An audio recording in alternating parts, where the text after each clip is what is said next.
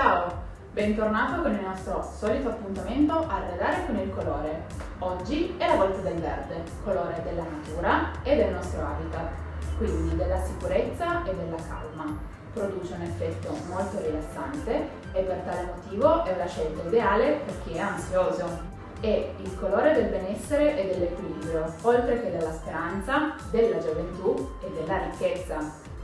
In cucina o in bagno è l'accoppiata vincente ed è sicuramente con il legno. La cosa migliore però per avere del verde in casa è sicuramente utilizzare le moltissime piante all'interno per far respirare la tua casa insieme a te.